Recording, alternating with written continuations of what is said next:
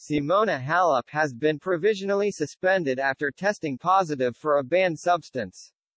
Simona Halep's former coach Darren Cahill has issued a lengthy statement backing the two-time Grand Slam champion after she failed a recent drugs test.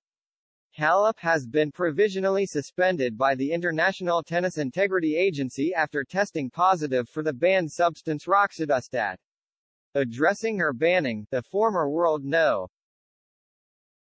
1 pledged her innocence in a statement released on social media. Halep wrote, I have been notified that I have tested positive for a substance called roxadustat in an extremely low quantity, which came as the biggest shock of my life.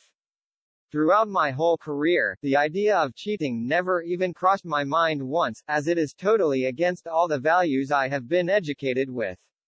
Facing such an unfair situation, I feel completely confused and betrayed.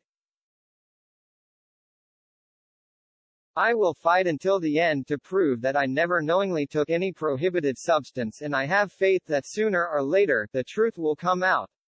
Amid the controversy Halep has now been backed up by her former coach Cahill, who believes there is zero chance the star took the substance purposely.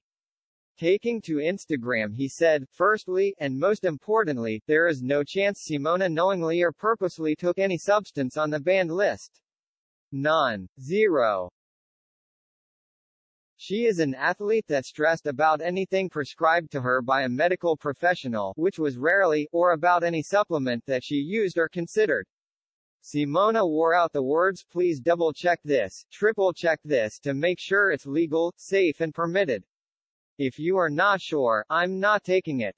Cahill helped guide the former world number one to her maiden Grand Slam title at the French Open in 2018.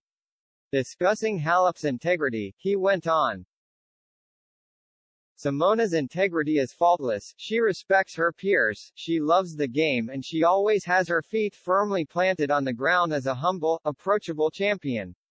I have sat proudly in awe of the person that she has matured into, watching the compassion she has shown others.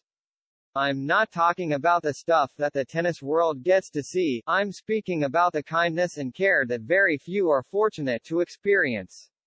The kind of actions that are done for love and not for publicity. Honesty has always been her greatest strength and her biggest weakness.